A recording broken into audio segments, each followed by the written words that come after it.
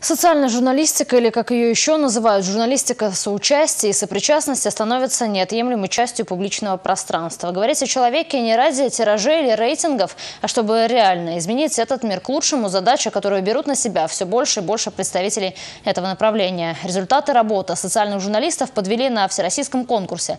Дипломом отметили и творческую команду программы национального телевидения Чувашии «Большое сердце».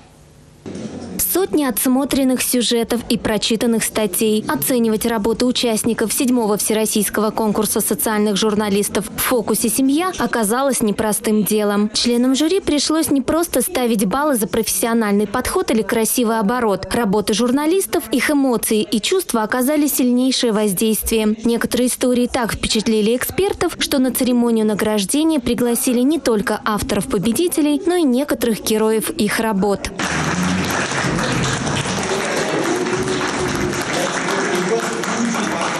Thank you.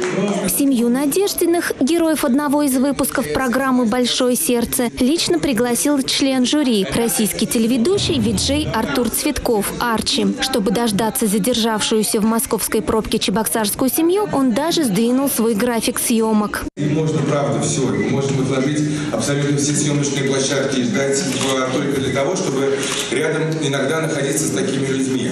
Еще раз хочу сказать огромное спасибо тем людям, которые пишут, независимо от того, профессионально вы пишете языком или тем, которым диктует ваша душа, потому что а, каждый раз сталкиваясь с такими семьями или просто с такими людьми рядом, а, хочется жить семье Надеждиных трое кровных детей. Два года назад они взяли еще и приемного ребенка с синдромом Дауна. Благодаря программе «Большое сердце» у солнечного мальчика Димы, ставшего лучиком света для своей семьи, появился новый друг. А авторы программы надеются, что примеру Надеждиных последуют и другие родители, мечтающие подарить дом семью обездоленным детям.